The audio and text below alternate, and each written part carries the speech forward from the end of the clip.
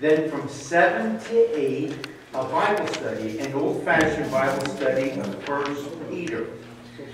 There is, I put some study guides of the first lesson on the table in the Oasis room, and they have about 10 to 14 more on the front pew. You will see in our 50 minutes together, and this is all the topics we want to cover uh, Tuesday night. There is a sign-up sheet on the podium right by the offering plate. Please sign up if you're planning to come Tuesday night. They just like to know kind of the amount. To me, an ideal, and we will meet, I'll be down there and you'll be sitting on this half, an ideal Bible study is where all of you come and I will, I will introduce the book. I mean, just the chapter and the topics are all written out. And then in each one, we have a brief group discussion. Or I could simply tape it. I, I shared, I recently went to one offered through Myerstown Seminary in a church, and the person got up and lectured an hour, and the heat was very high. It was very hard to stay awake.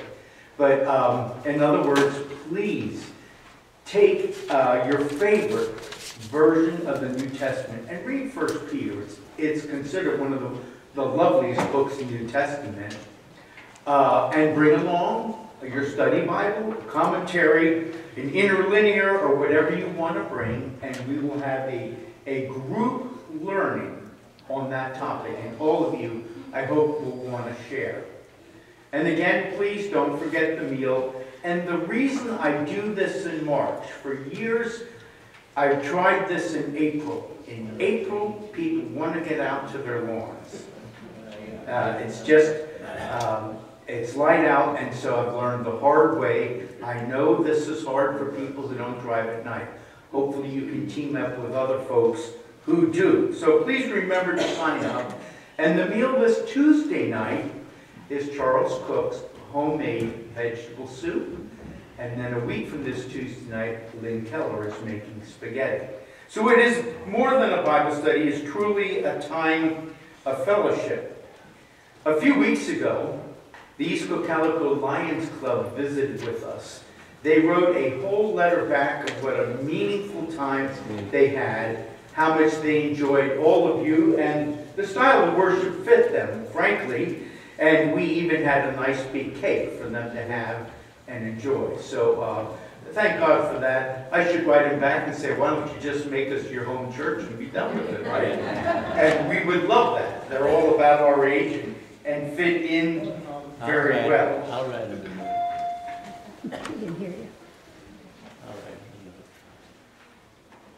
All right, I think that's all the announcements. At this time, we will quiet our hearts uh, for the prelude.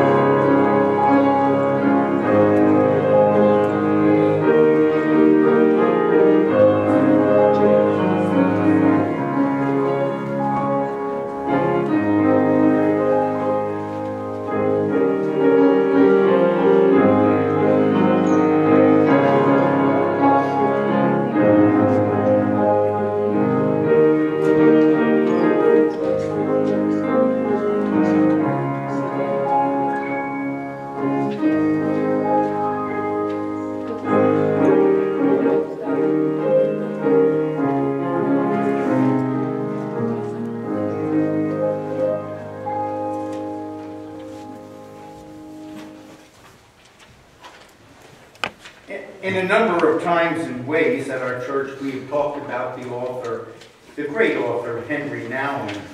We'll turn to invitation number 19 in our hymnal, and we will pray this invocation in unison. I really had the privilege of spending a long weekend at the Trappist Monastery where he was for years. And it was beautiful, and you spend the weekend in silence except for some teaching sessions. Let's begin. Those who think that they have arrived have lost their way. Those who think they have reached their goal have missed it. Those who think they are saints are demons. An important part of the spiritual life is to keep longing, waiting, hoping, expecting. In the long run, some voluntary penance becomes necessary to help us remember that we are not yet fulfilled. A good criticism, a frustrating day, an empty stomach, or tired eyes might help to reawaken our expectations and deepen our prayer, Come, Lord Jesus, come. And please rise for our opening hymn.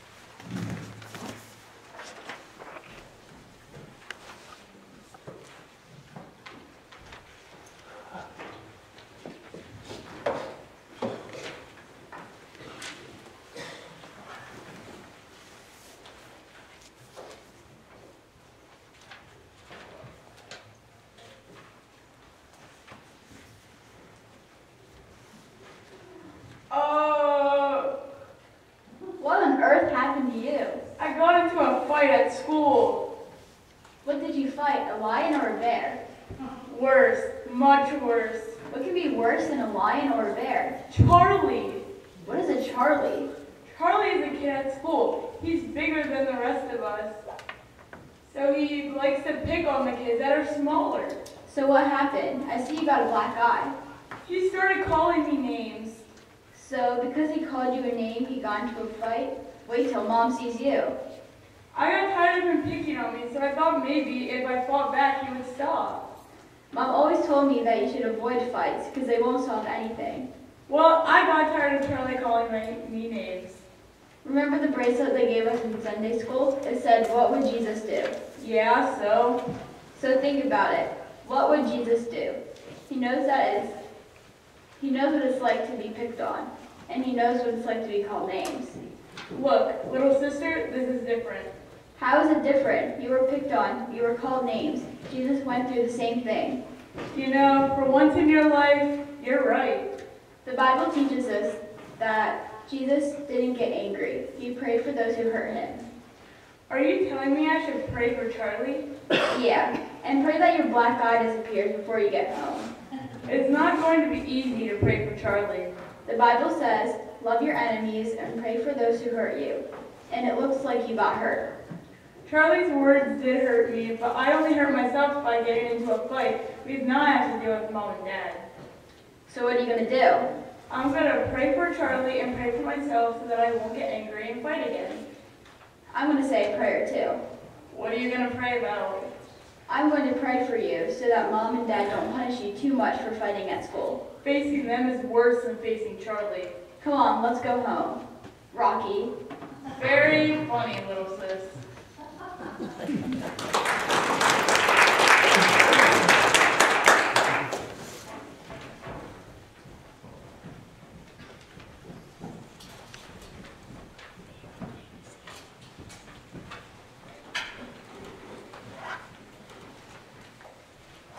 We come to our time now of uh, sharing our joys and concerns. I did want to ask, do any of you uh, know where Ron Kreider is? Yes. Oh, Yeah, Lynchburg. He's in Lynchburg, Virginia. They, Randy, two boys are playing against each, other, pitching against each other in that baseball.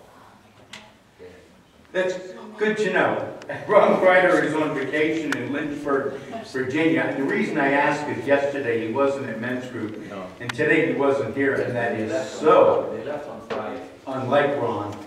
Uh, Ron, if you're listening, enjoy yourself and behave.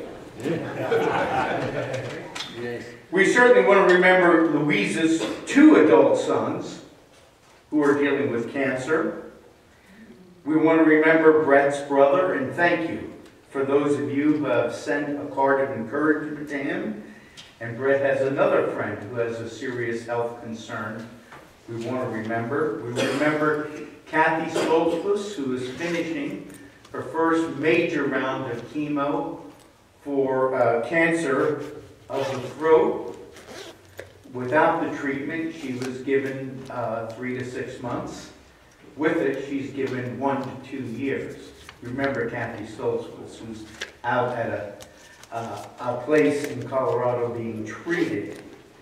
We certainly want, want to remember and pray for the end of the war in Ukraine. On the Church of the Brethren National website, uh, they listed one church that just built a warm and close relationship with the local church there, and the, the local church is deeply struggling and, and terrified, and shared that with all of our churches.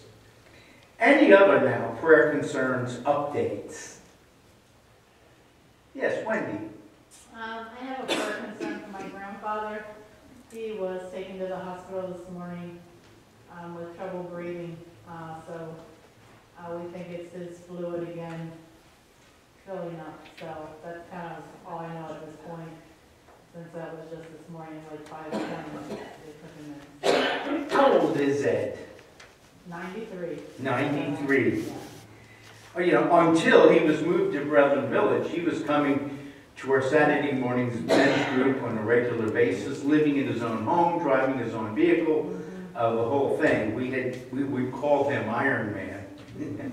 But, but remember Ed, he's, he's failing and having uh, fluid on the lungs, etc. Dear soul, and a man so in love with Jesus Yes, and has so much joy in knowing Jesus. Yes. lived an interesting life. Any others? All right, we will turn in our red hymnal to our prayer song 556, just singing it once.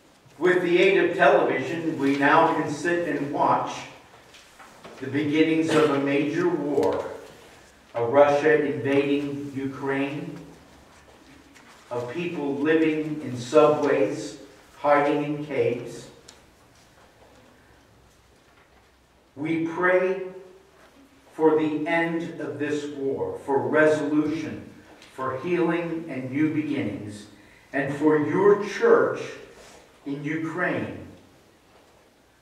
We, click, we quickly listed a group of persons who are struggling. But we are reminded these are real lives with everything on the line, so in need of your help and touch. And we lift up again Brett's brother and his friend, two of Louise's adult sons. We lift up Kathy Stoltzfus, who's in the battle of her life, and many unspoken requests among us right now. We take a moment of silence and each of us in this moment lifts to you something we so desperately want your hand and touch and movement.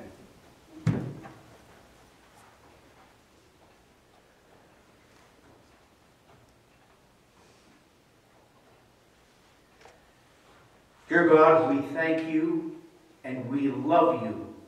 And we affirm that you are able. We also praise and worship you high and lifted up in all of your glory. Help us to live our moments, our hours, our days, to please and love and honor you, and to satisfy and to fill your heart. In the name of your Son, Jesus, we pray all of these things. Amen. And Betty's going to lead us in hymn 197.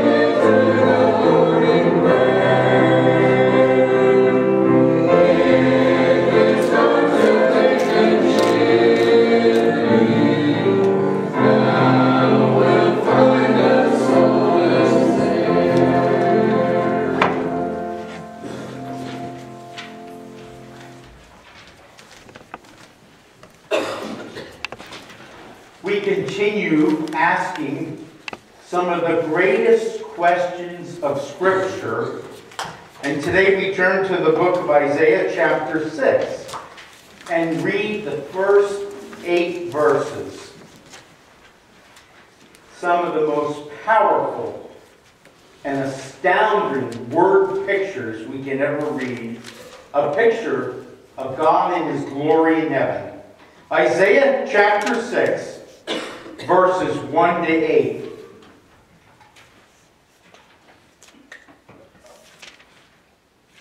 In the year that King Uzziah died, I saw the Lord seated on a throne, high and exalted, and the train of his robe filled the temple.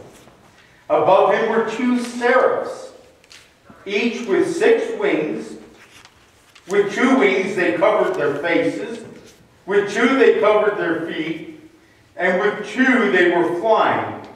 And they were calling to one another, Holy, holy, holy is the Lord Almighty. The whole earth is full of His glory. At the sound of their voices, the doorposts and thresholds shook, and the temple was filled with smoke. Woe to me, I cried, I'm ruined, for I'm a man of unclean lips, and I live among a people of unclean lips and my eyes have seen the King, the Lord Almighty. Then one of the seraphs flew to me with a live coal in his hand, which he had taken with tongs from the altar. With it he touched my mouth and said, See, this has touched your lips. Your guilt is taken away, and your sin atoned for. Then I heard the voice of the Lord saying, and here's our great question Whom shall I send? And who will go for us? And I said, Here, I, here am I, send me. About 700 years before Jesus was born in Bethlehem, the sad announcement was made that the beloved King Uzziah is dead. He was the 11th king of Judah, and he and Isaiah were very close personal friends. And Isaiah was crushed. Uzziah was crowned at age 16, and he reigned 52 years and died at age 68. Isaiah fled to the temple and looked up to God for help, and there he had a vision. There he saw another king, the ultimate king of glory. He saw the Lord high and lifted up. At his side were angels whose job was to give glory to God.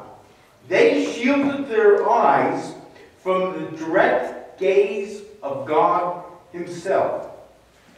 Out of reverence and out of awe for God. When Isaiah was crushed, he worshiped God. When he felt the deepest loss, he turned to God, and may we do the same. When Isaiah turned to God, he received a God-sized vision of life. And you know, true worship will always move our heart. And it will move our hearts to the extent that we take some action. In this scene, the glory of God shook the foundations of the temple. Isaiah realized his sinfulness in the presence of God, and God then touched Isaiah's lips. And may God touch all of our lips starting with these two as well, on a daily basis. If our confession of God is negative and faithless, our vision and calling will be warped and powerless. A God-sized vision will move us to say, Here I am. Send me, God. You know, God uses circumstances to get our attention. It was a time of loss and a time of extreme grief for Isaiah. This sudden passing left him shocked and almost hopeless. Everything in Isaiah's world felt like it was in confusion.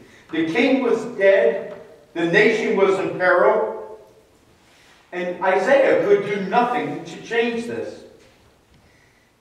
Because his earthly circumstances got so bad, he looked upward. And you notice what the Lord in heaven was doing? God was sitting down. God is totally in control in that moment and in this moment. The invasion in Ukraine was no surprise to God, and frankly, not too much of the rest of the world. God is not sitting in heaven wringing his hands, wondering, what am I going to do now that Uzziah is gone? What am I going to do about the tensions in the Middle East? God is not worried about what is coming next, and neither should we be. God gets, uh, God gets our attention so that we can be aware of His presence. God reveals His character to make us see our need, not the, not the needs of others, but God wants us to look at our needs when we get a glimpse of His glory. Isaiah saw God in this vision and thought, Who am I that I should even be seeing this? And that was true worship when you say, Oh, who am I that, I, that God would even recognize me? We are so worried about our circumstances and, I, and our beginnings that we forget what God is going to do with us in the long term. Remember, if you look at these beginnings, you would never believe the outcomes. Adam was a failure, Noah was a drunk, Abram was too old, Isaac was a daydreamer, Jacob was a liar, Leah was ugly, Joseph was abused, Moses was a stutterer, Gideon was afraid, Samson was a womanizer, Rahab was a prostitute, Jeremiah was too young. David was a murderer and, and had an affair. Elijah was suicidal. And here's the worst one, unbearable. Isaiah was made to preach naked. Oh, boy, oh boy. Lord help us all. That, that puts the fear in me. Jonah ran from God. Peter denied Christ. The disciples all fell asleep and ultimately deserted Christ when he needed them most. Mary Magdalene was clearly demon possessed. The Samaritan woman had lived with many men. Zacchaeus was too small. Paul was too religious. Timothy had an ulcer. And, La and Lazarus was frankly dead. What do we need to surrender to God this morning? God gives us hope so that we will be useful to Him in the future. God could have, God can reach people any way He wants to. Yet He always chooses everyday people like you and me who have problems to work through. Matter of fact, and this was, I'd say now, maybe 20 years ago. We were traveling to Maine. I was listening on CD a seminar of two of the greatest pastors of large churches in America, and their philosophy was exactly different. The one pastor wanted for his church the most excellent and overachieving staff to work for the church, and I understand the best of that. The other pastor, who was Rick Warren, would only hire people who had in some way been totally broken in life. And then God had in time put their lives together. And of course, they offered excellence. Out of the two pastors, uh, the one who focused only on perfection has burned out and was chased out, and Rick Warren is still in the pulpit today.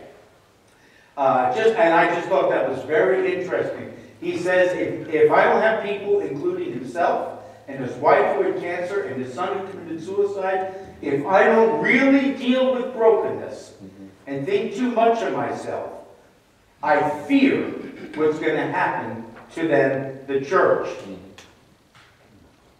Oliver Cromwell was Lord Protector of England. During his battles with Charles I, a problem occurred. They had run out of silver to fund the war against Charles I. Cromwell made an order and said, okay, let's go throughout all of England and gather all the silver that's left. And the only silver that was left was in the statues in the churches. So Cromwell said, in this case, we'll melt down the saints and put them into circulation. and isn't that what God is doing with you and I? In our Sunday school lesson, uh, we listened to a video of a speaker, and we're going to kind of really reflect on it next Sunday. He said, We're all on a need to know basis.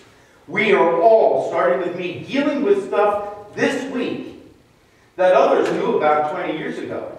But we are only to the place where we can deal with it now, where God can touch us. And, and God only knows what it is, but we are going from grace to grace. You know, people often say uh, the church has taken 20 centuries and hasn't quite reached the whole world. Where in the space of about one century, almost everyone in the world has heard of Coca-Cola, a large percentage has tasted it, and etc. How effective some companies have been, even compared to the church. God expands our vision to make us evaluate our availability to Him. Finally, Isaiah was looking at life through God's lens. In conclusion this morning, have you seen the glory and the power of God lately? I'll say for myself, not near enough. I've seen a lot of news, uh, seen a lot of drama, but the glory and power of God. Sometimes I open the book of Revelation, and it's a group just like us. You know what we do? We come into the room, and there's no pews. We fall down on our, on our faces and be, begin laughing and crying because God has entered. And I remind myself, that's my future. That's your future. That type of experience of fullness of God I hope we look and find the glory and power of God. What, whatever God is shaking in your life and in my life, whatever we're sad about, those are issues and callings from God to help us to press forward in new grace. What are our lips speaking? And all of us know, and it's so painful to be human, and the fact that the tongue is wild. No one can control the tongue. And remember, uh, about a year ago, Doug said one time in a group lesson here, I said, who is the disciplined person? Doug Aiden said, the person who can reasonably control his tongue. And we all got quiet. Isn't it true? And it's, you know, there are a lot of thoughts going in and out your mind. But God asks us to rein it in. Because a lot of that isn't worth sharing. Do you have a bold vision for the moving of God in this church and in America for 2022? Or are you hiding in fear? Are you living in fear of the pandemic? You know, the church handled the last two years of, of this pandemic exactly the opposite the way the church did in the AD 300, and many of them died. But wherever there was a church, in the cities of Asia Minor, throughout the Roman Empire, the population did better. The church went out and gave food and care. They tried to keep as much as they knew, tried to stay safe, but reached out to the unchurched and the needy. And, and the survival rate was much higher when the church was involved. So much of the church today has just given in to fear. And they say, close the church. Can you imagine God in this scene in all of his glory looking down? And people saying, yep, we're just going to close the church and we'll all hide at home and spray disinfectant. I'm not saying that people aren't going to die and, and, haven't, and have died from the pandemic. But, but we all are going to die, you know, ultimately. But we are not going to be fear-based. Are you living in fear of this pandemic? Or perhaps the next one? Are you living in fear of getting sick or older? Something we're all going to do. Are you living in fear of the war or political trends in our country? None of this is a surprise to God, and He's sitting on the throne and occasionally yawns at the human drama this stirs up. Are you living in fear of leaving your rut? That would be more me.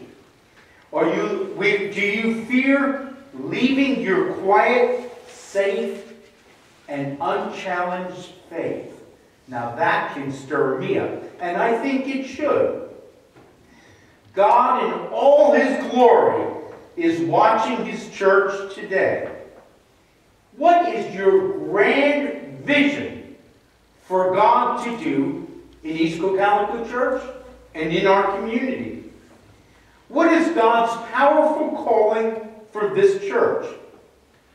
What is God calling you to step up, to speak out, and to do? Can you say, God, I get it. You're speaking through the hurts of my life. Here I am. I'm stepping out for you. Can you sing? Take my life and let it be consecrated to you. Our closing hymn, number 380.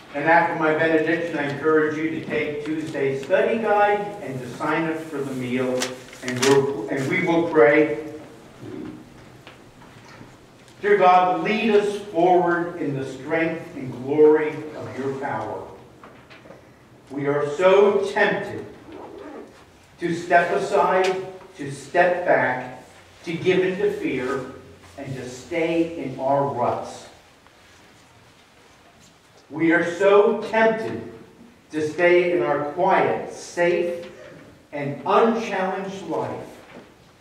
Move us, God. Send us. Use us. Because that's why you created and placed us here in the first place. Dismiss us in your care and grace. Bless our time of fellowship and food to follow downstairs, we pray. Amen.